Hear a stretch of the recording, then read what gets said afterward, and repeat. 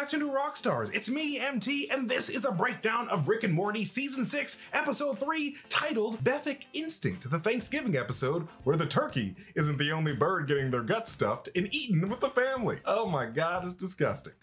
Between this and the incest baby, Morty and Summer are gonna need so, so much therapy. Let's be honest. but that's why they paid Dr. Wong the big bucks. Let's get into the dirty details you might have missed in this wonderfully awkward episode brought to you courtesy of Venusian Wine. Hooray! But first, do not forget to hit up newrockstarsmerch.com to pick up our newest, latest Obsession shirts inspired by both House of the Dragon and She-Hulk, and they're not gonna last forever, so hit up newrockstarsmerch.com today so that you can be rocking some cool t-shirts in style. All right, so the episode is titled Bethic Instinct, which is a play on the 1992 movie Basic Instinct, which is a movie that features a bisexual character named Beth who has an intimate sexual history with the film's main suspect, Catherine, who has a questionable, potentially murderous past, which kind of mirrors Earth Beth's relationship with the more quicker to murder Space Beth. And the episode starts with Morty setting up a Pooplickian GamePod XL, which is a slight mishmash parody of Nintendo's GameCube and 3DS XL consoles. And apparently a console that allows the users to play an infinite amount of ultra realistic games like a video game version of Interdimensional Cable. But if you notice here, the console glows pink like the crystallized xanthanite that Rick installed into the family cable box so that they can watch Interdimensional Cable. A crystal with the capability of messing with time and alternate timelines, which is why it is mainly referred to as a time crystal. Rick uses this crystal in the season to premiere A Rickle in Time when Rick tries to repair the splintered realities caused by Morty and Summer's uncertainties. A crystal that time cops like Schleemy Pants will arrest you for as they are highly illegal to have. So having Space Beth carelessly give this to Morty is very in line with her badass nature. Then Rick smashes into the glass in turkey form before reverting back and saying,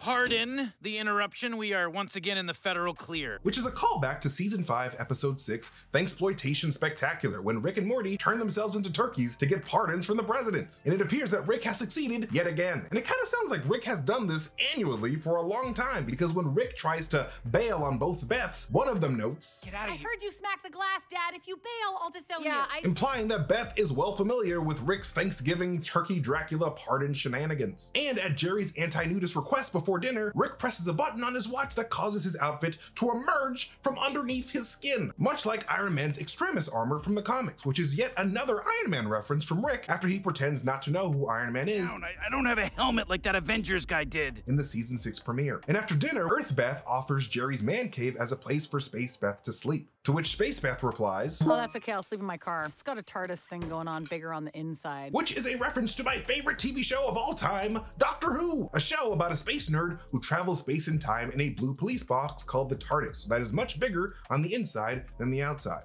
It's bigger on the inside. Is it? I noticed. And Rick not liking Doctor Who type shenanigans is also very much in line with his character in the Rick and Morty comics, which you should definitely read, by the way, because in the very first issue of those comic series, it is very clear that he has a hatred for the Doctor Who parody, Professor Talk, the time detective. He really does not like time travel. And when Space Beth fixes Earth Beth's back problem, I couldn't help but think that this is a shout out to the Spider Man No Way Home moment when Andrew Garfield cracks his Tobey Maguire variant's back.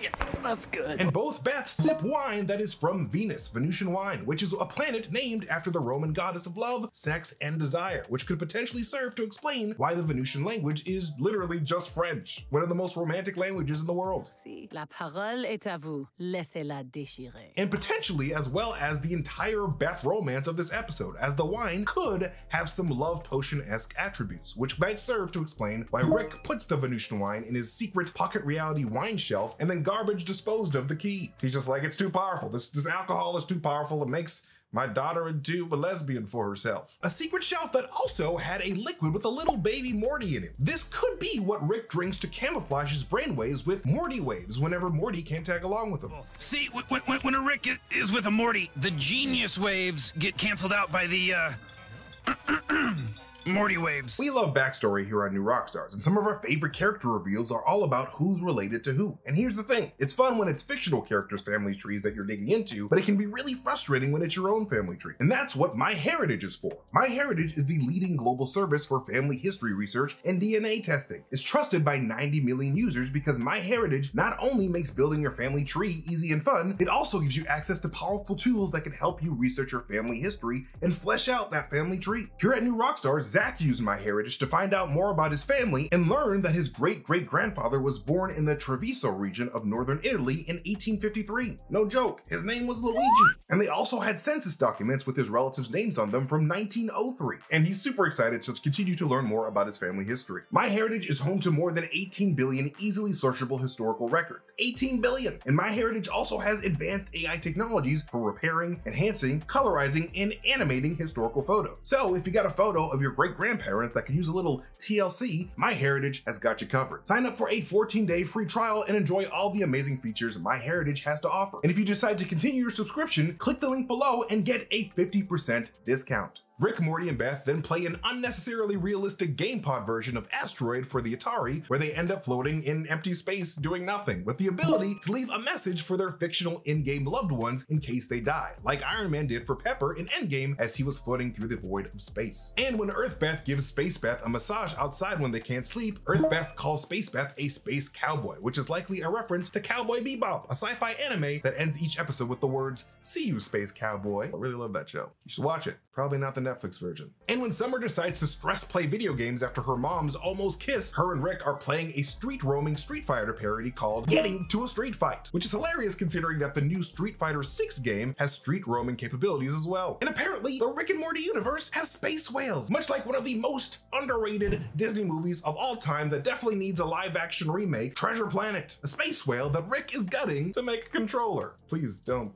do animal abuse for video games. But as he's doing this, Rick extends a robot arm to grab a saw, furthering the Reed Richards parallels that the show likes to make with Rick's character, much like the Council of Ricks is pretty much a parody of the Council of Reeds from the Marvel Comics. And as both Beth space vape on the roof after a quick self-love mouth session, they lie on two snow angels holding hands that they made, symbolizing their unity. But what's super interesting here is that when they blow out their smoke, whatever is currently at their mind at the moment is what takes shape. So Space Beth blows out a middle finger at the thought of giving the family an explanation for what they're doing, and Earth Beth blows out a Jerry shape while thinking about her marriage. Thought that was pretty fun. We then see Summer and Morty playing a hilarious realistic variant of Final Fantasy VII, where Cloud just can't get it up. Just can't, he can't do it. Better get a BlueChew, Cloud.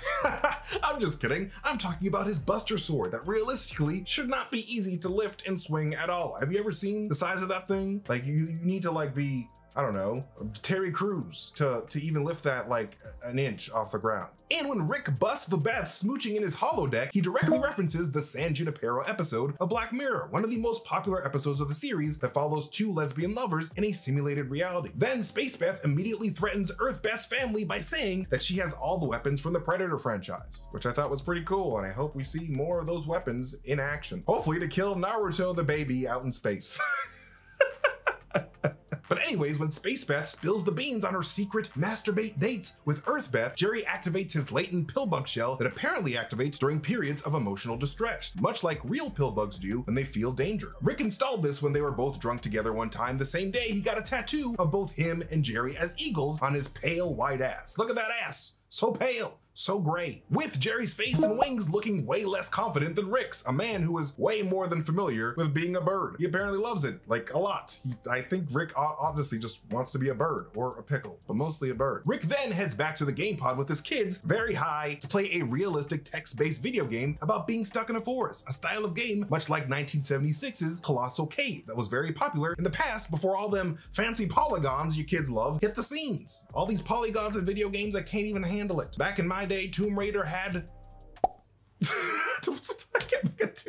and I really love how Morty says, How old are we? We've had a million Thanksgivings. Which is basically Morty breaking the fourth wall by calling out how cartoon families like The Simpsons or Family Guy or even American Dad never really age despite experiencing the same holidays over and over again. However, this can also be a subtle reference to how Morty lived billions of lives in the last episode when Summer did a die hard to save him. He literally experienced billions of Thanksgivings himself. And when the Beths force Rick to whip out the memory wiping machine from Morty's mind blowers so they can forget about their whole affair, Rick says, You guys are having me eternal sunshine, all the multiplicity porn scenes from your minds? Yep, basically. Sounds right. Me? which are references to both 2004's Eternal Sunshine of the Spotless Mind, a movie where Jim Carrey memory wipes a past relationship, and 1996's Multiplicity, a movie where Michael Keaton clones himself to try to be more efficient in his job and family life. And I thought it was hilarious how Rick calls Jerry a cuckold husband to the Beths because it is very much some foreshadowing to the threesome that occurs at the very end of the episode, to the hilarious horror of the the children. And speaking of, when Morty is asked what he's thankful for, he says the Discovery Channel, which is a quite timely reference considering that Warner Brothers and Discovery just merged and they own the rights to Rick and Morty. Um, so thank God for monopolies because they made a quick joke about it. Ha ha ha. Sorry, Batgirl. Ha ha ha. And at the very end of the episode, I thought it was a really nice touch how Space Beth mentions Morty and Summer's incest baby Naruto from season 5, episode 4, because it kind of felt like a slight jab at the kids for judging her and Earth Beth's relationship and what they did. Come on, guys. Uh, don't forget about your incest baby. This isn't that weird. And finally, we have the return of the Jerryboree Daycare Center from season 2, episode 2, Mortynight Run, when Jerry returns to try to kiss himself like his wife did. Typical Jerry move. Part of me does wonder how Jerry even got there, considering that Rick's portal gun got hijacked at the end of the season 5 finale, but the Jerryboree does exist on a cross-temporal asteroid, Ferp Rock, that is sort of a nexus point of all realities. So theoretically, Jerry could have just flown there with Rick's ship on autopilot. But that is it for this breakdown of season 6, episode 3 of Rick and Morty. What do you guys think of the episode? What would you even call this? Is it masturbation? Is it incest? Let us know in the comment section below. And of course, do not forget to hit up newrockstarsmerch.com so you can find all of our amazing shirts and uh, amazing nerd gear over there. And those new obsession shirts are not going to last forever, so pick them up today. You can follow me at Mastertainment on Twitter if you want to see me tweet some weird shit and really fun theories. But more importantly, you can follow New wherever we are on the social media. Thank you guys so much for watching this video. I love you guys so much, and I'll see you guys later. Goodbye. Ta-da, ta-da. All right, cool beans.